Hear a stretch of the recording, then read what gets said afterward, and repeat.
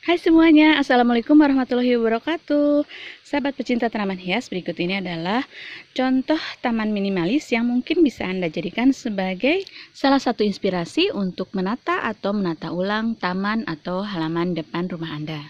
Tak banyak jenis tanaman yang digunakan di sini, tetapi dengan pemikiran yang matang bisa menghasilkan taman minimalis yang cantik, modern, dan ciamik. Oke, bismillahirrahmanirrahim. Kita mulai dari sebelah samping halaman depan ya. Di sini hanya menggunakan satu jenis tanaman yaitu tanaman sansevieria yang ditata secara sejajar tetapi dia tampil cantik dan modern. Selanjutnya kita maju ke halaman depan. Nah, di sini ada tanaman kaktus koboi juga ditata sejajar dengan hanya menggunakan pot dari semen berwarna putih. Ini juga cukup sederhana ya, tetapi dia bisa tampil cantik dan modern. Dan e, sansevieria dan kaktus juga merupakan salah satu tanaman yang diprediksi akan menjadi tren di tahun 2021 ini.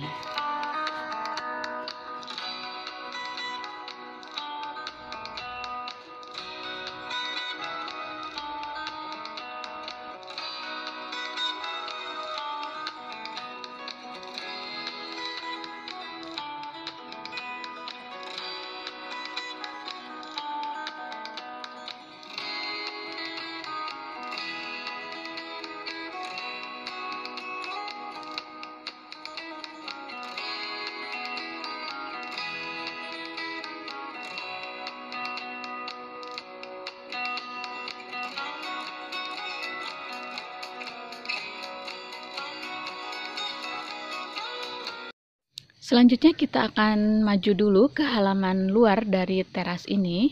Nah, di sini ada tanaman palem. Kemudian juga ada tanaman ini nih yang berbunga merah ini. Kemudian dilanjut dengan tanaman Calathea lutea ya atau uh, tanaman pisang.